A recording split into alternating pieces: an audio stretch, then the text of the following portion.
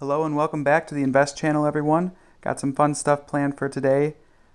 Uh, currently at the laundromat, going through and just changing out the quarters from the machines. After that, I have to look into a uh, machine that was flooding.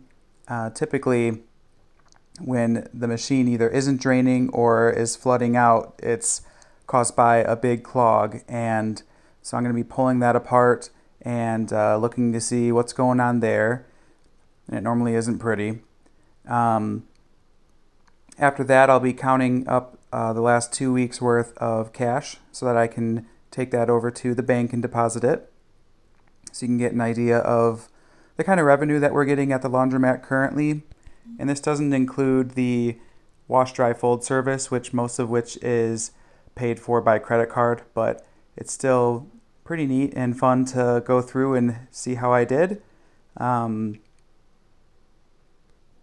I've got a lot more content coming through on just different renovations that were going on at the laundromat that are now finished and some other projects that I've been taking on. So stay tuned for some episodes coming up in the next week or two so I can catch you guys up on all of that.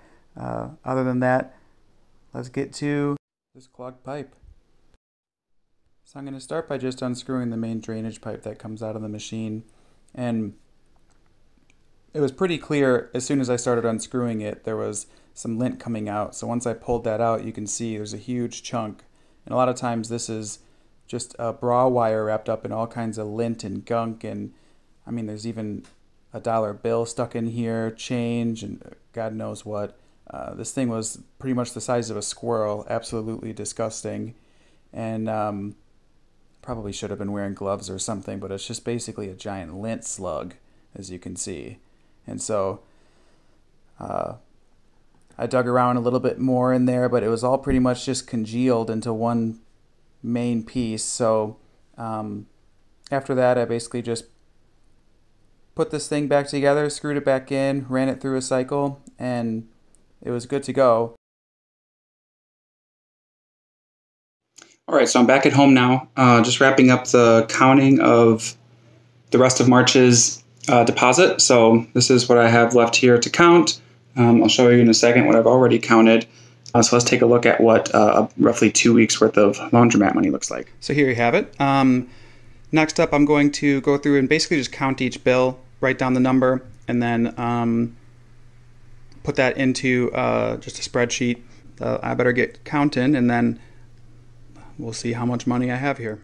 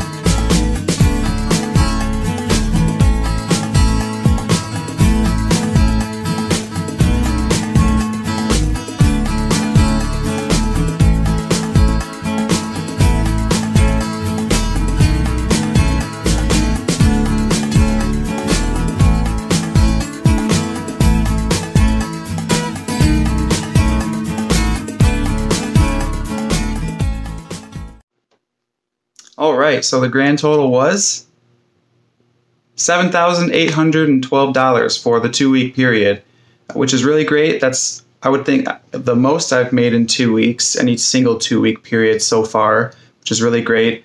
Uh, I think it shows that the online marketing is really paying off and just the renovations and keeping the place clean, uh, keeping a lot of the homeless out of the laundromat and all other kinds of dealings away uh, is definitely giving some confidence back to the customers. I'm looking to uh, continue to improve that number uh, in the laundry as well as the wash dry fold. So I'll keep you all updated in that. And stay tuned for the next time um, where I can go a little bit more in detail on some of the projects that I'm doing at the laundromat. Um, but other than that, thanks. Don't forget to subscribe. And if you have any questions or comments, leave them below. Thanks and have a good one.